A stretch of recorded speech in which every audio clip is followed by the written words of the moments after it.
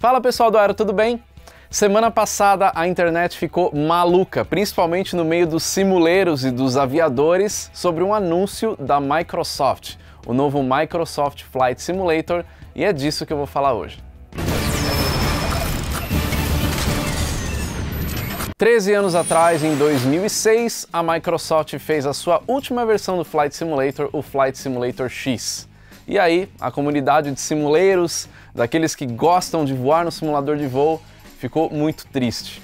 Antes de continuar esse vídeo, já vou pedir para você deixar o seu like aqui, que é bem importante para o canal. Quanto mais likes a gente tem, mais o vídeo vai ser recomendado para outras pessoas que gostam desse tipo de assunto. Então é facinho, é só tacar o dedo no like aí, beleza? E também já vou te convidar para o nosso segundo encontro Palestras da Aviação, que vai acontecer no dia 10 de agosto em São Paulo. Tô deixando o link aqui na descrição, é só clicar, já cai direto no site, tem todas as informações dos palestrantes que vão ter lá, dos sorteios, de tudo que vai acontecer e já está aberta a venda do segundo lote. Simulador de voo. Eu sempre gostei muito de simulador de voo, apesar de nos últimos anos eu não ter uh, me dedicado muito a isso, mas é uma coisa que fez parte da minha vida, principalmente quando eu comecei a ter mais contato com a aviação, antes de eu ter até idade para poder voar um avião.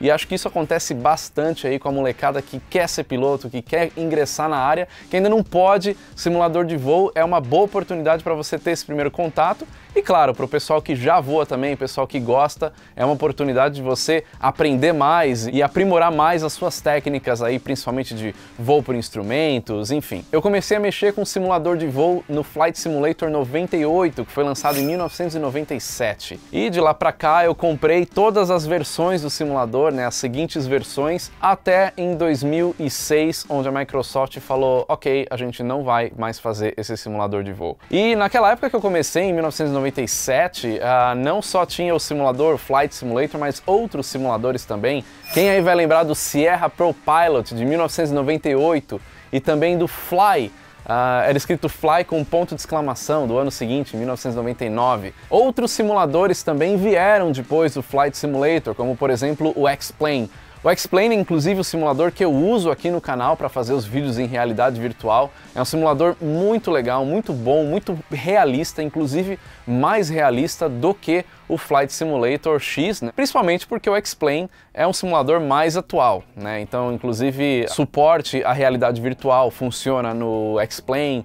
Então, é um simulador bem legal, eu comecei a usar ele na versão 9. Aí veio a 10, agora está na versão 11. Existem outros simuladores também, como o Flight Gear e o Infinite Flight, por exemplo, mas eu não vou muito falar desses outros simuladores. O meu objetivo aqui é falar sobre o Flight Simulator, principalmente, entender até onde vai essa nova tecnologia de simuladores de voo. Mas antes de falar um pouquinho do que pouco se sabe ainda do Flight Simulator 2020, da nova versão, eu quero falar um pouco da história, né, da onde veio o Flight Simulator. O Flight Simulator começou em 1977. Foi feito por uma empresa chamada Sublogic e um cara chamado Bruce Artwick que era o cara que estava encabeçando isso daí, que começou a fazer esse tipo de software. Mas claro que quando eu estou falando de 1977, os computadores eram bem arcaicos, então esse sistema era bem arcaico, não tinha nada a ver com os simuladores que a gente conhece hoje. Em 1979, a Sublogic desenvolveu o FS1 Flight Simulator.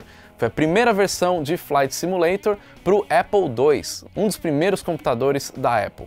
Logo no ano seguinte, em 1980, essa empresa, Sublogic, desenvolveu mais uma versão para outras plataformas além do Apple II.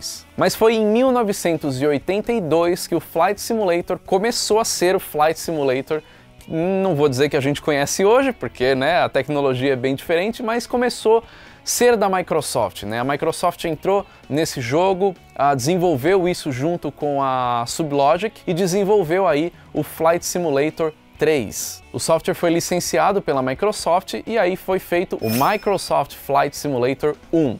Aí a primeira versão de fato dessa, desse legado que a gente conhece. A Sublogic continuou desenvolvendo esse software para outras plataformas uh, até 1986. E foi em 1984 que a Microsoft lançou o Flight Simulator 2. A coisa continuou andando até que aquele cara que eu falei no começo, o Bruce Artwick, saiu da Sublogic e montou a sua própria empresa que se uniu com a Microsoft para fazer a terceira versão do Flight Simulator.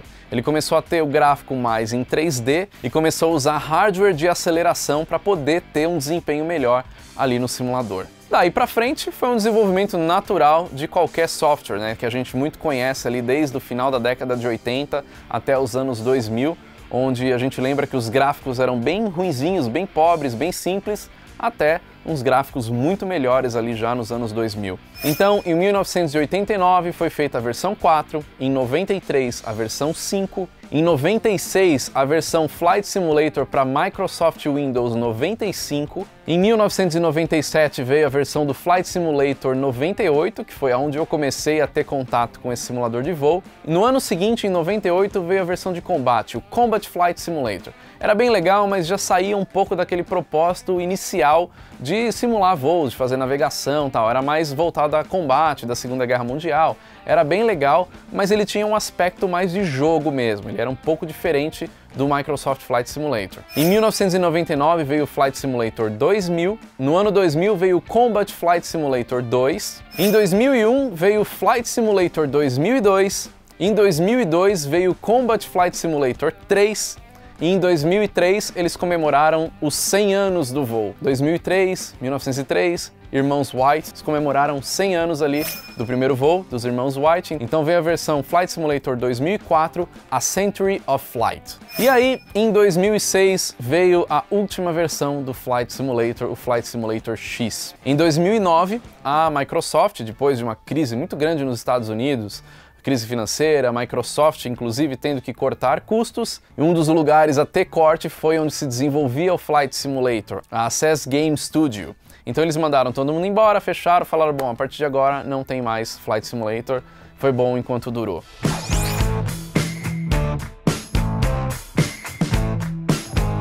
Ainda no ano de 2009, a Lockheed Martin, que é uma fabricante gigantesca de aviões dos Estados Unidos, resolveu adquirir todo o sistema de desenvolvimento do Flight Simulator para fazer alguma coisa nova dentro da empresa para treinamento deles mesmos, que acabou uh, se tornando um novo software.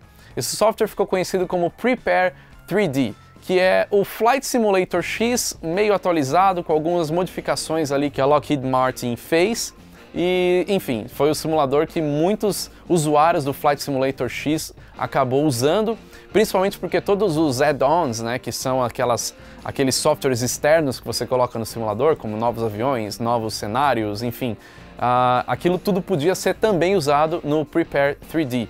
Então fez com que a comunidade não ficasse tão órfã assim, fosse uma alternativa até com uma atualização de tecnologia. Porém, apesar de ter sido modificado o software, toda a base era a mesma do Flight Simulator X. Então não teve uma, uma novidade muito grande, não teve um, um, desenvolvimento totalmente novo do zero de tecnologia ali daquele software. Então meio que se manteve o Flight Simulator X com uma roupagem um pouco diferente, um pouco melhor. O Prepare 3D continuou aí na comunidade, o pessoal usa inclusive até hoje, e, mas em 2012 a Microsoft lançou o seu maior fiasco, que foi o Microsoft Flight. O Microsoft Flight ele durou seis meses, porque foi muito ruim, o lançamento foi péssimo, ninguém comprou a ideia, principalmente porque quem gosta de simulador de voo gosta de simular e não de jogar. Então são coisas diferentes e a Microsoft lançou o Flight mais como um jogo, ele era um sistema fechado, então não tinha muita possibilidade de colocar esses add-ons. O Flight foi o fiasco total, durou seis meses, a Microsoft descontinuou, apesar de até hoje, se eu não me engano, ainda tem no site para baixar e ver como é que é, mas realmente não vale a pena. As tentativas de trazer um Flight Simulator novo continuou, então em 2014 uma empresa britânica chamada Dovetail trouxe uh, de novo o Flight Simulator X. Eles adquiriram os direitos do Flight Simulator da Microsoft e aí eles desenvolveram de novo ali uh, um relançamento e colocaram o Flight Simulator X na plataforma de downloads de game que é a Steam. Então o pessoal já podia comprar o Flight Simulator lá na Steam e baixar. Isso está disponível até hoje. Além dessa versão do Flight Simulator X, também foi desenvolvido um outro software Primeiro eles anunciaram que iam fazer dois softwares, o DTG Flight School e o DTG Flight Simulator. Eu não sei direito o que aconteceu daí pra frente porque eu já não achei mais nada sobre isso. Mas eles lançaram logo em seguida o Flight Sim World. Mas também não durou muito tempo. O lançamento foi em 2017 e em 2018 já foi descontinuado, o negócio não foi pra frente.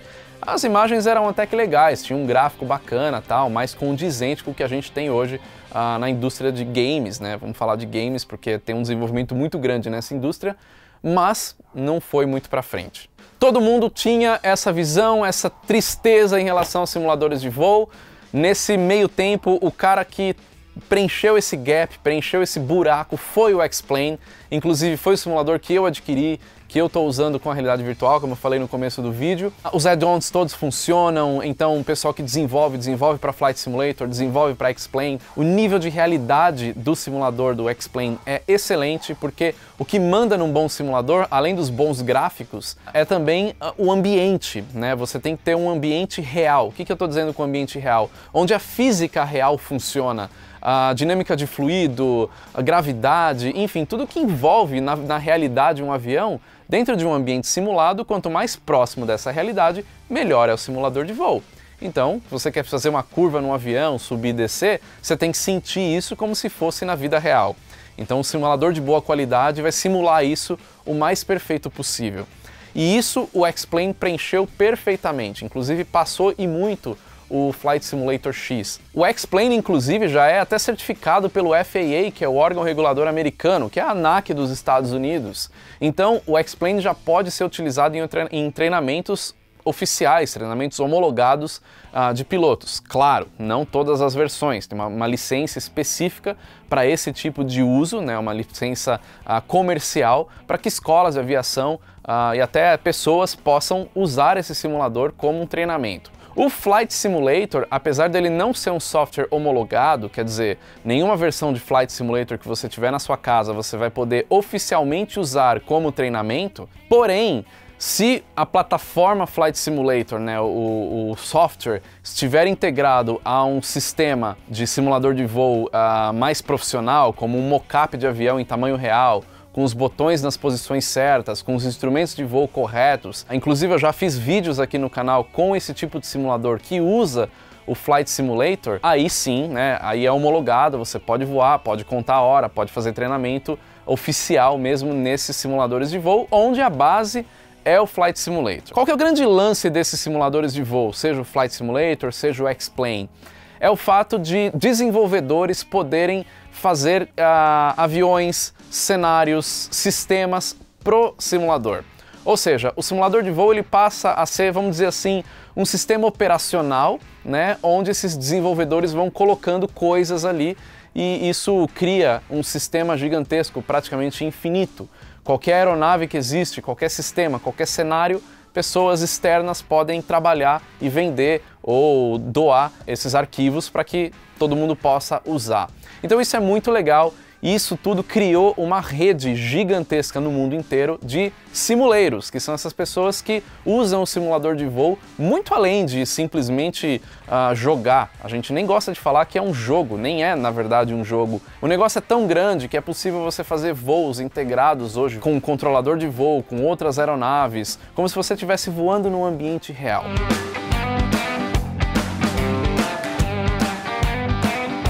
Então, praticamente o X-Plane 11 estava nadando de braçadas aí, do nada, sem ninguém nem esperar, nem o pessoal mais ligado no mundo de simuladores imaginava que lá na E3 em Los Angeles, E3 2019, a Microsoft ia colocar um vídeo bombástico mostrando como é que vai ser o novo Flight Simulator, que será lançado em 2020. Não se sabe muito ainda do que, que vai ter nesse simulador de voo, porque tudo que foi anunciado até agora foi um trailer de um minuto e meio um site, uma landing page que praticamente não tem nada de informação, mas a gente sabe que os gráficos vão ser surreais. Nessa, nesse vídeo, né, nesse trailer, já mostra que é tudo feito em 4K, HDR, ou seja, a quantidade de pontos entre o preto e o branco é gigantesca. Você tem muita informação de imagens escuras e muita informação de imagens mais claras. E pelo que foi possível ver nesse vídeo, praticamente eles estão desenvolvendo um negócio novo. Esse simulador ele tem, na verdade, que ser todo remodelado, reconstruído, porque aquilo que existia 13 anos atrás não existe hoje. Para você ter uma ideia de quanto que é 13 anos atrás, só para você lembrar, em 2006 não tinha smartphone como a gente tem hoje, não tinha aplicativo, não tinha tablet. O YouTube estava começando. Tudo que existe hoje não existia naquela época em termos de tecnologia, principalmente de internet, era uma coisa muito diferente. Cidades mudaram, aviões mudaram, geografias mudaram, então eles vão ter que realmente reconstruir o simulador todo de novo. Uma coisa que é unânime, todo mundo está se perguntando, até pelas imagens que tem nesse trailer, como é que máquina que vai rodar isso? Uma máquina movida a urânio, uma máquina atômica? A Microsoft falou que isso daí vai ser rodado em dados via satélite e também através de um sistema de inteligência artificial chamado Azure. Esse Azure, ele é um sistema da Microsoft que já é utilizado de inteligência artificial. Então, basicamente, o software ele deve rodar na nuvem né? Então ele vai ser um software online que quem vai fazer todo esse processamento de dados vai ser esse sistema da Microsoft, esse servidor da Microsoft.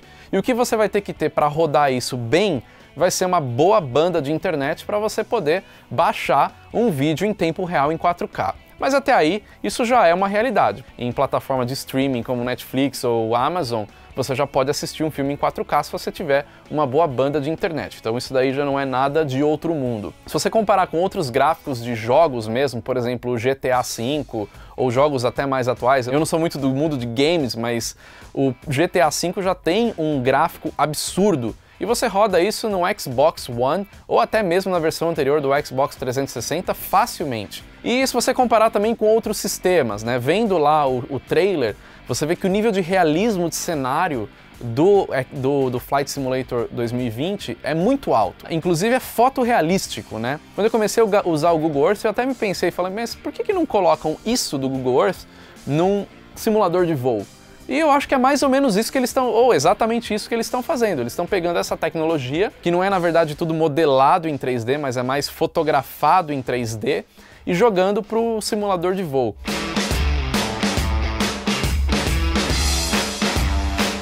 Muita gente que assistiu o trailer ficou com aquela dúvida de será que tem pós-produção ali? Será que isso daqui é realmente o que vai ser o simulador? Algumas imagens ali do trailer realmente foram manipuladas, mas não todas, e foram poucas imagens.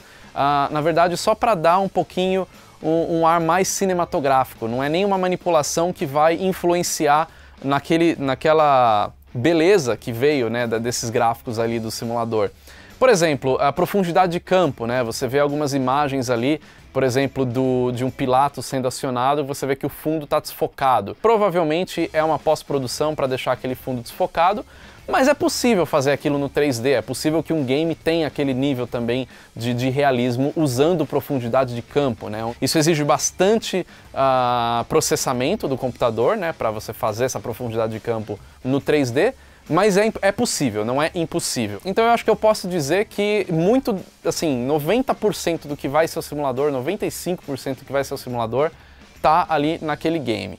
Mas ali, claro, você junta com uma edição bacana, melhores imagens, então você tem captura aí de pôr do sol bacana, com uma, iluminação legal, com o sol batendo no painel do avião, então a iluminação manda muito. E a verdade é que só você pegar os, o histórico da Microsoft em lançamentos passados. Quer dizer, se você pegar o vídeo de lançamento do Flight Simulator X, aquele trailer era exatamente o que foi pro, pro, pro simulador. Uma coisa que me chamou bastante atenção também vendo esse trailer, que era bem uh, ruim em todos os simuladores anteriores, acho que o X-Plane melhorou um pouquinho, são as nuvens, né? As nuvens em simulador sempre foi um ponto fraco. E pelo que eu vi nessa, nesse trailer, o negócio tá bem legal. E também a chuva no para-brisa né, dos aviões. No, no Flight Simulator, se eu não me engano, era o 2000 ou 2002 que eles inventaram de colocar umas gotas no para-brisa. Ficou uma coisa ridícula, ficou horroroso, não deu certo. No X-Plane também não funciona muito bem. Mas agora, pelo trailer, parece que o negócio está bem legal, eles foram bem fundo nisso daí. Mas também, aparentemente, pecaram em alguns pequenos detalhes ali uh, principalmente pelo fato de parecer usar a mesma tecnologia do Google Earth. Então, algumas árvores ou alguns prédios ficam meio borrados, enfim, uh, tem alguns detalhes ali que acredito que o pessoal que construa cenários até possa trabalhar isso futuramente. Mas eu vou falar que, olha, pelas imagens daria para facilmente fazer captura aí de avião voando e colocar como se fosse avião real que funciona muito bem. Não temos muita informação além disso do que foi passado, quis mais dar uma visão ali do que eu vi, do que eu pesquisei, do que eu sei até agora.